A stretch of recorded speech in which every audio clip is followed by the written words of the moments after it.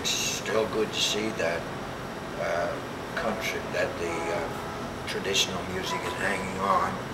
Uh, like for example, boys in Shanneyganock, I get I get some, I go with them every now and then when they ask me, and I think they're they're doing their part to to keep it alive. And there's, other groups around that that are coming along, so it's not going to die very very quickly.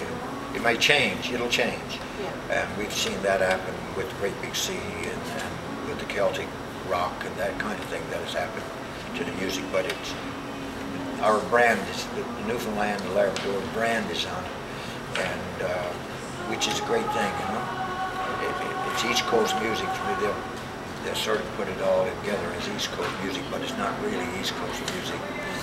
It's Newfoundland and Labrador style, and the emphasis uh, is almost a unique kind of play on on the music, and I think it's because of the blend that we've had over the years since early early days with the Irish and the French, and uh, you know, and, and of course the, all the other local aspects that play into it.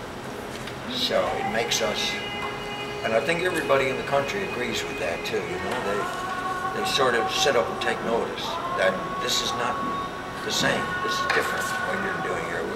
Our music is not the same as, uh, let's say, uh, Central Canada or the Prairies. It's all good stuff, mind you.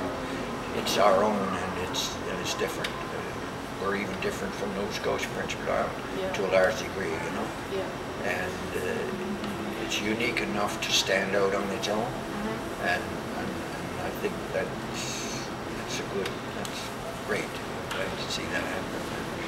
And we, with uh, Music NL and these organizations that are here with the festivals we have, like the Bannerman Festival and the other art uh, music festivals around, like we have two down in Fortune Bay every summer, one in Balloon and one in St. Jacques.